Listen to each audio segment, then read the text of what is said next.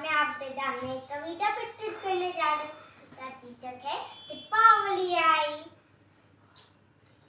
एक एक एक था राजा राम अवध के चुनो समय की राम लक्ष्मण भरत, शत्रुघ्न, भाई थे वो चार मिलजुल कर रहते थे, पर उसमें था बहुत ही एक थी रानी, बड़ी रानी, राजा राजा राम की छत के उसको उठा लिया लंका के रावण ने गंगा के रावण ने खूब खूब रोई, खूब चिल्लाई, बेचारी चाँद की।